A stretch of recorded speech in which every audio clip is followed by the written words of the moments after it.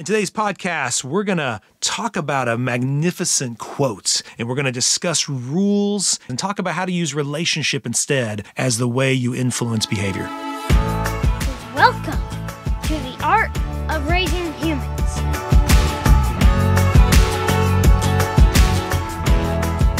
Hello, and welcome to episode 60 of The Art of Raising Humans. I'm Kyle. And I'm Sara. We've reached 60. That's kind of cool, right? You know, we recently got some uh, cool feedback from the podcasting, you know, place that gives us feedback about the podcast, and they they shared the top five countries people are listening to our podcast. Fun. Yeah, that was really fun. I know, wasn't it? So we Yeah. were kind of surprised. Number one was not surprising. It was the United States. So thank you Uh-huh. all, the U.S. listeners. Number two was kind of surprising. It was Spain. Yeah. Isn't that interesting? awesome. So Yeah, yeah, I did not great. know people were listening to the podcast in Spain, but if you are, hello or hola. And then um, number three was, I think it was United Kingdom. That's right, United Kingdom. Oh, yeah. Number four was Germany, and number five was Australia. Okay. How cool is that? And I got another one that said we're like in the top 50 of parenting podcasts in Egypt.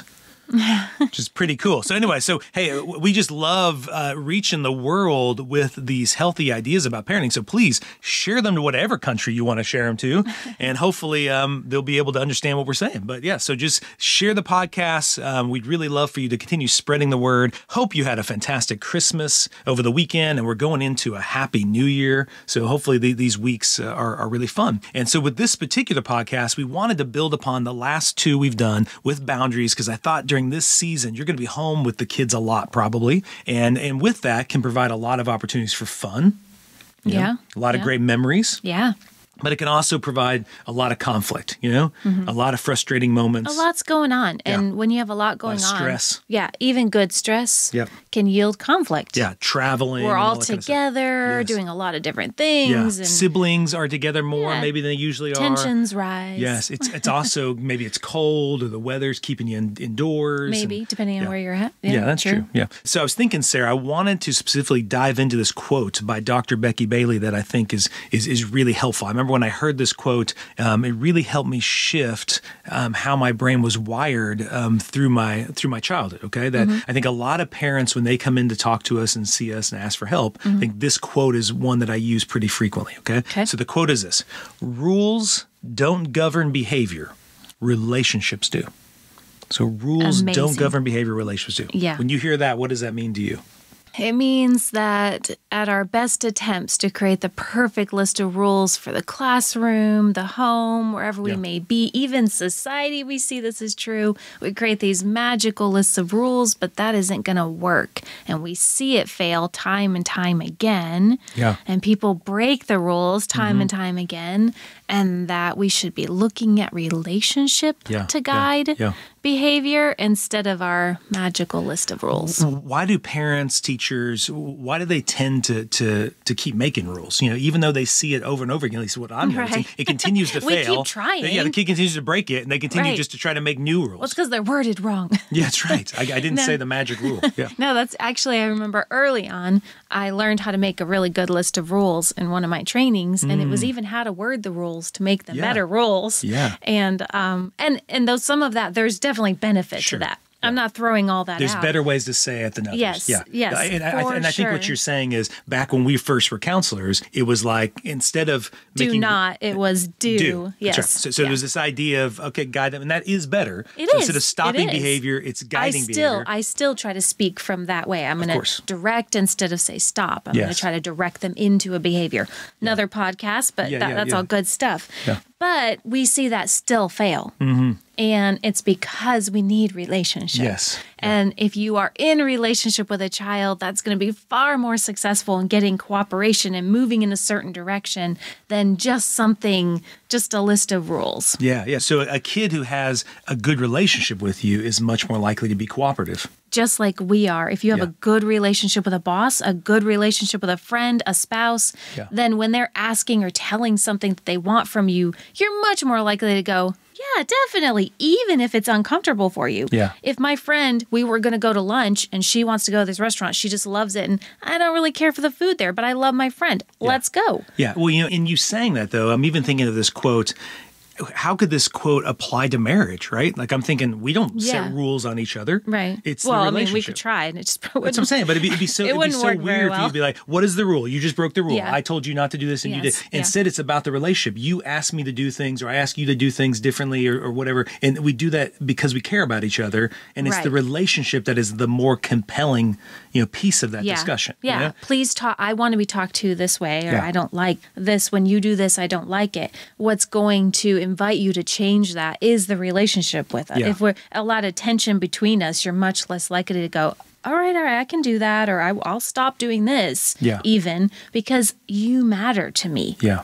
And so it's the same thing with children. If we matter to them and they feel like they matter to us, they know that they matter to us, they're much more likely to gonna to to do something we're asking Yeah. than just a magically written. if you've been listening to this podcast at all, anytime, the reason why we call it the art of raising humans is we're trying to do sustainable things with our kids that work in all relationships, you know? And so just and like, carry through life. Yes. So just like it would be weird for you to set rules on me as your husband, Mm-hmm. You know, because even in that, you can hear that. Like if you were to set rules on me, it's like you're trying to control me. Yeah. You're trying to tell me how to behave. Yeah. Right. And I would have the same response that lots of the kids I see in, in the practice, the kids I'm helping and, and coaching, the- lots of their same response is I, I typically see one of two things happen. Either you have a kid who goes, Oh, yeah, I can't do that bad thing because my mom and dad set this rule. And mm-hmm. if I did that thing, then something bad will happen to me. Right. Mm-hmm. So it's typically like if I break that rule, I'm to lose my phone. If I break that rule, I can't go see my friends. So it's, Yeah. so so some kids will see it as oh without that rule i probably do a lot of bad things i'm glad they have that rule or you have the second kid who says i want to do these other things and that rule is inhibiting me from doing that. Mm-hmm. So i'm going to find a way around that rule you know Yeah. it, it seems like that's the two Depending on the personality and yes. and that, that's where even like where parents will say, man, if you talk like this or you get those grades, you're going to lose your phone. I don't know how many kids I've had who have multiple phones. They've got other burner phones that they keep hidden mm-hmm. and they just pull out another phone. And so to them, they're just, they almost feel empowered or excited to get around the rule, you know? Yeah. Almost to say to their parents, haha, you think you have me, but you don't. Yeah. I, I think it reminds me even of workplaces. I feel like you see this a lot so more. Good. Yeah, yeah, yeah. There are plenty of workplaces where they do have the rules. The clock in, clock out. You Yeah. sit here. This is when this, and they have a lot of rules. But you see a lot of organizations moving in a different direction. Yeah. It's not so black and white. It's not so just now this, now this, now this, and all these rules set up, and and they're creating a different environment that is more built on relationship and and working together. So good. Mm-hmm.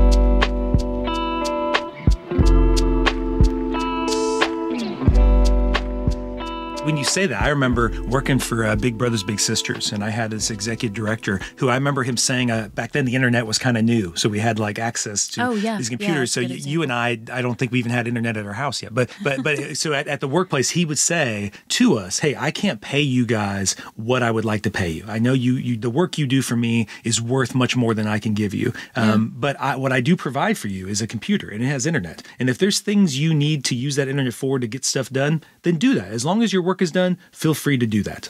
And I just found this great sense of freedom that there was this trust that he wasn't telling us, you can't do this on the internet, you can't do this, you can't do, you know, mm-hmm. or some companies who have, I think everybody has felt that with companies where they're constantly watching you and on top of you and they're Yeah. waiting to see if you break the rules. And, and that's, that brings to the point of when you set the rule, the point of setting the rule is not only to try to control the kid's quote unquote bad behavior, but it's mm-hmm. also to set a consequence or some mm-hmm. kind of punishment. So there is this like, you did this, now this is going to happen. And it becomes a very black and white discussion. You know, if you follow the rule, you're doing good stuff. If you break the rule, you're doing bad stuff. And then we're going to need to punish you to then make sure you understand that you can't break that rule. right. And and that's the thing to me that starts to become um, it's not sustainable within the, the family over time because eventually that kid grows up and becomes an adult and the kid doesn't learn the skill that we want the kid to have, which is self-control. It is Yeah. self-discipline. It is for that kid, just like we talked about in previous podcasts, to set their own boundaries, to eventually have boundaries on themselves. Like like for instance, the the rule being um, you know, the kid's got to get a certain level of grades. The kids can't get C's or D's. I'd rather the kid set that for himself. I'd rather us have a discussion on what school is for and what kind of grades the kid wants wants to get. And so far, in my many years, Sara, of working with teenagers and kids, I've never had a kid who didn't want to get A's and B's. Every one of them are like, well, if I could get A's and B's, I'd love to get A's and B's. Mm-hmm. And when, when they sat down and talked to that kid, they might occasionally say a C because they think that class is really hard, but they wish they could get an A, a or B. And they're, therefore, we're not setting rules about these things. We're actually coming along and through the relationship partnering to then get the grades they're wanting to get. Well, and and going back to the workplace, just think about that how you felt about that boss versus another boss that comes in with these rules about this is when you can do this and this is how you can do this and we're watching you and and uh, you know that Yes. whole list of rules how that felt just you as a person compared to a boss that that didn't come in with a list of rules but came in with relationship and connected with you and Yeah. and you you know and trusted you and and you just you want to work harder for that boss You and do, you yeah. want to You're more motivated, yeah. you want to help everything be successful. And so I think it's the same with kids. The list of rules accomplishes something, but Yeah. when you come in with a relationship and that child wants to keep that relationship, you want to go together to make this an, a successful thing, a classroom, Yeah. a home, whatever it is, it's, it's going to have a different impact. What, what do you think the reason is that parents lean towards setting rules rather than just having these conversations? I think sometimes we don't know how to have the conversation. Hmm. I think the rules are really big in society all Yeah. over the place. Yes. That's what laws are, really. Of course, yeah. so it's kind of what we know Mm-hmm. uh, and I, I think you see that for thousands of years right but it's it's what we know and so we feel like oh I, i've got to create this because I, i've got to keep the kids I've safe gotta keep order, and yeah. Mm-hmm. I, i've got to right keep order i've got to keep everyone safe and so everyone needs to know what's okay and what's not okay otherwise it'll be crazy Yeah, yeah. And I even think, like you said, you see it at places. That, these are our family rules. You know, you can buy those cool Yeah, signs that put them in there. yeah. And so it seems like this is the way to have law and order. and well then This you can just way to point back to it Yes. uh you broke Yeah, the rule That's right. Yeah. And and here's the other thing, Sara. I think a lot of parents doubt the relationship will be influential enough. Oh, yeah. You know, that they Yeah. don't think the kid will do it just because they've asked. They Mm-hmm. think they'll do it because there's a rule and there's a punishment if you break it. Right. Right. And that's what I really hope any listener listening to this, I want you to know the most compelling, influential thing you have to influence your kid is your relationship. You know, so many parents when when I'm working with them and they're they set some rules, I'll tell them, hey, you can do that, but just just so you know, that's that's not gonna that's not gonna last. Eventually, the only I'm, I'm thinking about this, like you said, the work environment. I, I know I know when I would go to conferences, Sara, and there would there would be someone speaking, someone I didn't know, speaking about a topic I didn't care about. I knew the quote unquote social norms or social mm-hmm. rules is you're not supposed to be on your phone, you're not mm-hmm. supposed to talk to the people next to you. But inevitably, everybody around me was doing that because nobody had a relationship with this person. Nobody really cared about what was being said. Whereas I realized if if if somebody I cared about was speaking up there, somebody that I knew on a topic I was passionate about, I not only would keep those rules, but I would also help enforce those rules. You know, be like, come on, guys, this is great. Let's listen up here. You know, yeah. and so, so I was thinking about that in regards to work, in regards to these ways in which we as adults interact all the time. How we don't follow the rules with our relationship on a regular basis, and so Yeah. Uh-huh. yet we ask our kids to do the same thing, and we believe somehow it controls their behavior. It keeps them from Mm-hmm. from doing bad things. And I'd really like parents to trust that who you are and the relationship you have with your kid is the most powerful, influential thing that you have in your tool belt. And so if a kid is continually doing behavior that you're not wanting them to do, for, for Sara and I, we would just go back again to reconnect. We've got to, Yes. you know, if you have that idea. got to start there I, I like that bank idea of I, got to get back in the black. Yeah. Mm-hmm. I got to connect and enjoy my kid. I, I've, I've got to remind myself that you my, need the relationship yeah, I've got to remind myself that the, my voice matters. The Yeah. kid cares what I have to say. I'm telling you, these kids care way more than you think about what what, what you care about. You know, Mm-hmm. I was even thinking about um, when when it comes to rules like for sleeping. You know, sometimes parents there'll, there'll be this conflict because the kid will want to stay up late and go out with their friends, right? Yeah. And the parents will set Curfew. a yeah they'll set a rule on a curfew and say Uh-huh. you got to be in by 11. Now, why is the parent saying that? Well, there's a few different things. The parent's saying that because the parent wants the kid to be in at a safe time. They don't want Mm-hmm. them out late. It- it, you know, safety and Yeah. want to make sure they get their sleep for school the next yeah, day. Yeah, but also the, the, the parent wants their sleep, you Yes. know? And, and, and what- what I noticed was you'll have some kids who will frantically get back right at 11 because they don't want to get in trouble, yeah. right? So There's usually punishment coming if you're late. or or you have the other kid who will consistently come back at 11:05 or 11:07 Mm-hmm. and then almost be testing how serious the parents are to whether or not they're getting in trouble, right? Mm-hmm. Whereas I, I, what I would encourage the parent t- to to be honest with the kid is almost every one of the parents they want to go to bed before 11. Like Mm-hmm. they're tired. They've got a job to do. They've got things that so so they really don't like waiting and waiting and waiting and stressed out about where the kid is and what's going on, you know? Yeah. And I would want them to use that as the compelling reason I want you home. You know, instead of saying, here's the rule, you break it, this happens, I would instead say, hey, what is a reasonable time? That, that you coming home and the kid might say midnight. I would say midnight doesn't work for me because then I'm up worrying till midnight. I would really appreciate you home by eleven. That's when I'd like. Could we agree upon that? And then the kid, most of the time in session when I'm working with them, they, there'll be a back and forth, but mm-hmm. eventually we'll come to an agreement on on what benefits them and and them mm-hmm. trying to be with their friends, have fun, but also still benefits the parent. And then what I love about that, Sara, is then when the kid does come home at 11, the kid isn't coming home at 11 because he, he's going to get in trouble if he doesn't. He's able to say, oh, cool, mom, you can go to sleep. Don't worry about it. You know, I want Yeah. you to go to bed. And he feels like he's able to be helpful to his parents to be able to get their needs met too. yeah.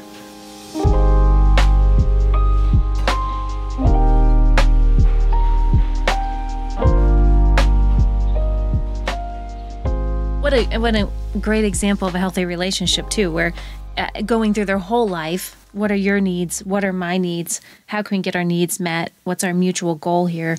Well, and I think along this line, I didn't even write this in the notes, but I think along this line, something else we probably wouldn't do and never have done um, is is with the rules is even having like written contracts and things like that with the kids. You know, I mean, I, I, and I'm, I'm just saying that because it, it gets to this idea of just once again, we would never do that in our marriage.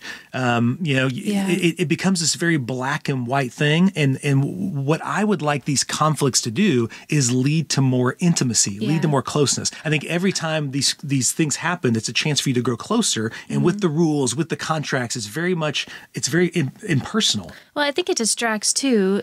It, it takes away any curiosity about oh, some right. some some boundary was crossed, some rule was broken or something. But but then you just that's that's all it becomes about. Yeah. And you're not really curious what was going on, what was happening. I mean, going back to the curfew thing, why were you late? Yeah. And maybe it was something real legitimate. Yeah. There was a car accident. we were yeah. stuck in traffic. Yep. Mm-hmm. And maybe it wasn't. Maybe they're just having a fun time playing video games and got off too late. Yep. But it, either one, you those both are invitations for a conversation. Mm-hmm. But if you're just banking on that rule and oh well you were late then you don't get to have that conversation about time management or you know oh you were having so much fun it was really hard to get off what can we do Yeah. you lose all of that Yes. in in just the well it was I know. you broke the rule Yeah, yeah, yeah. here's the yeah. Well, I'm even thinking. I, I know some kids, Sara, who there's rules around driving, and they can't. They're not supposed to speed, and they have some kind of tracking device on their phone that Yeah, says yeah. that. And and I've had kids come in who, I mean, this is kind of how I see rules happening in families. Is you know they they try to speed up to go around a vehicle on the highway, and Mm-hmm. then they realize, oh no, I just broke that rule. I was speeding. You know, and now Mm-hmm. my parents are going to get an alert on their phone that I was doing that, and already that kid the whole way home is ready for that conflict. They're getting ready to, to, to fight. And they're going to be defensive, Yeah. and they're the whole way they're thinking, "I'm so sick and tired of this that I I'm just trying to get." And they're now they're going to punish me, and there's this whole back and Yeah. and and the kid isn't able so just again, to you have a lose the yeah, yeah Well, and you're not wanting to create tension, but a lot of anxiety in the driver and stuff. And instead of the kid going, "Ooh, okay, mental note, I need to talk to mom and dad about this because whenever I'm just passing someone, it does this." And Yeah. instead of thinking, "Oh, I'm going to have a conversation," even if they really messed up. I didn't realize how fast I was going, the or the the speed limit changed. I didn't realize it. Instead of going, I'm gonna have to go home and tell mom and dad. Yeah, Yeah. you know, I didn't realize it. Sorry. Yeah. It- they have immediately create their defense. They're mm-hmm. ready to have that conversation. Mm, and instead of going into the relationship, it's they know they're gonna have to address this rule that was Yeah. broken, and that's not really where we want to go. No. and that's not gonna. As they grow older, we want them coming more to Exactly. us, even if they make a legitimate mistake. And you're not opening those doors. You're not creating the environment to Yeah. have those conversations. Well, and even think about it, as they grow up, what's going to happen to these rules? You know what I'm saying? Like they're Yeah. only sustainable while they're in your home and, you know, un- underage. But once they Mm-hmm. get older, they're going to leave your house. And then how is their behavior going to be governed then? and things aren't always going to go well and you're going to hope they feel like they can come to Mm-hmm. You and have Yep. just that conversation But but even then, as they leave the house and they become an adult, i hope you want them to come back and still speak to you in a way that you like. You know, Yeah, still have, again, yeah. instead of saying, Well, what's our rule? The rules don't matter anymore. That's right. I'm 18. I know, and you'll hear kids say it. Once I'm mm-hmm. 18, I'm out of this house. I don't have to follow any of your rules. That's a real Yeah. common complaint. I'm almost thinking, Sara, would it be helpful, do you think, instead of a family sitting down and creating the family rules, but instead creating the family values? You know, Yeah. what is it we value in our relationships? Like, even I'm thinking with Abby and her phone, one of the things we value is her being present. You know, and so so a lot of the boundaries placed around the phone that she placed on herself, it wasn't about these are the rules around the phone. It was like this is how we we value your time, we value your relationship. We want you to value that stuff too. And is this tool helping you or hurting you to live out those values, right? You know, like even the rules of like we don't talk to each other that way, or or or you know th- those kind of things that parents will say. Um, instead, uh, you want to value how we speak to each other Yeah. instead of having a rule that when we eat at the table we put the phones down. I'd rather have a value that when we're at the table we just put the phones away so we can all talk to each other. Mm-hmm. You know, mm-hmm. and and and I, I what I see from kids on a consistent basis is the rules feel like you're trying to control them and constrain them, mm-hmm. and Which I think is how we feel about and, rules. and and then if you follow the rules, you're now a better kid. You know, oh, Yeah. oh, and that's an I can get a value. I didn't even bring that up. When you have siblings, you have one kid who's great at Yeah. following the rules, Yeah. and that's the kid that the parents secretly like a little bit better, and then the other one is constantly pushing against the rules. And so when you do, Mm-hmm. well, when you, even if you don't feel that way, they feel that Yes. way. They will You're right, start to yeah. form this identity of I'm a rule breaker. that's right, yeah. And another one, I'll have parents come in that this kid's a rule follower. Yes. always follows I'm the, the rules. good one. Mm-hmm. Yes, and so that that, that which kid, creates its own Yes. own set of of struggles in life. Yes. Yeah. So I, I would encourage you over this break. I hope this kind of gives you some some some things to think about as you're with the kids a lot.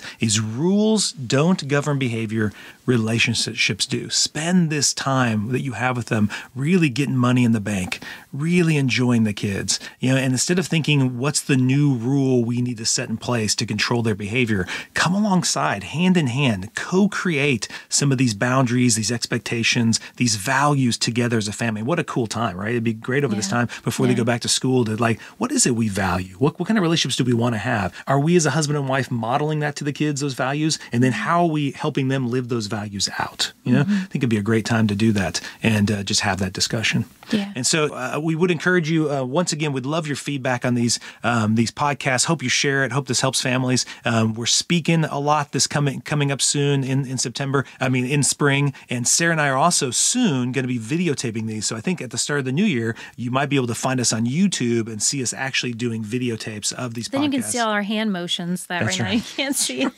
well, I, I definitely talk a lot with my hands, but we'd love to make that connection with you visually. Um, so we help that. That will be another fun way to connect with you as an audience, and um, we can continue helping families uh, throughout the world. So I hope you had a great Christmas, and just want to wish you Happy New Year. Thank you for listening. The Art of Raising Humans podcast should not be considered or used as counseling, but for educational purposes only.